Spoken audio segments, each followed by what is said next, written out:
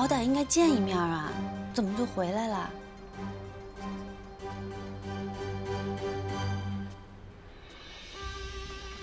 你要是难过你就哭吧，哭出来就好了。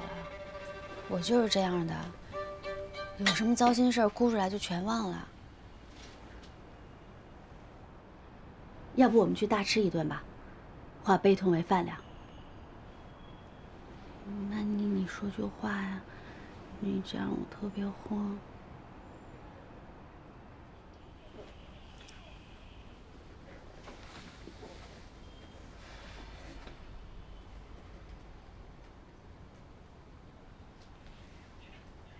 你这样我们俩都很担心你，心里有什么就说出来，别憋着。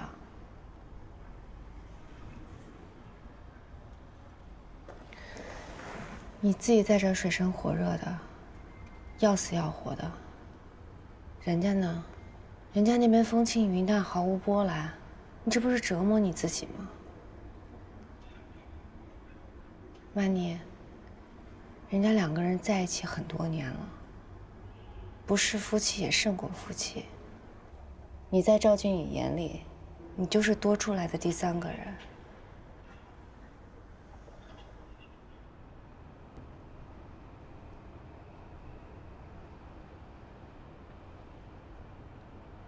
我不是第三个人。我知道我这么说很残忍，但这就是现实。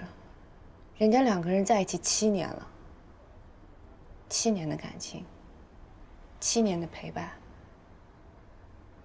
一个人的人生能有几个七年？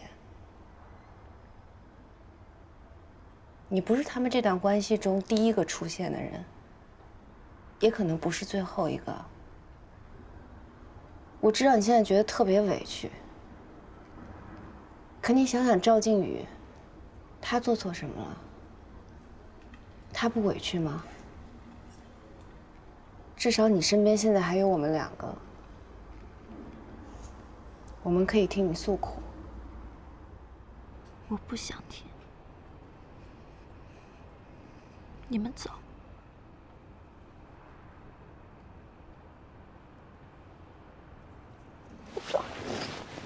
曼妮，你别误会。哎，曼妮，曼妮，走，走王曼妮，我不管你现在有多伤心、多难过，但你要明白，这个世界上只有你自己爱你自己。这个坎儿，你一定要迈过去。